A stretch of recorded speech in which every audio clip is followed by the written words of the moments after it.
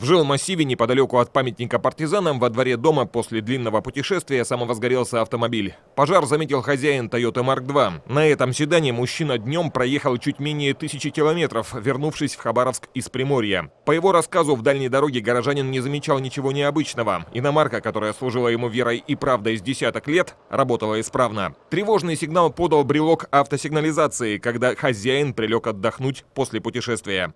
Сигнализация сработала. С балкона увидел. А, Что, вы дым ходите такой, да? дымить, да? Не дымит, что огонь уже поднялся.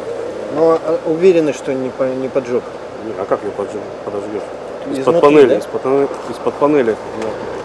Хозяин Тойоты – полицейский. Его профессиональных навыков хватило для того, чтобы сообразить, до приезда пожарных двери в горящей машине лучше не открывать, чтобы не давать огню подпитки кислородом. Осознанное бездействие принесло ожидаемый эффект. Приезду расчетов огонь практически задохнулся. Два автомобильных огнетушителя, которые держали на готове, были использованы единовременно, сразу после того, как двери были распахнуты для приехавших расчетов. Несмотря на безупречную грамотность действий, приборная панель в результате пожара пришла в негодность. Очаг возгорания находится под ней, в месте, где жгутами уложена бортовая проводка. Очевидно, речь идет о коротком замыкании. С места происшествия Денис Коршунов, Михаил Сергеев и Денис Сазонкин.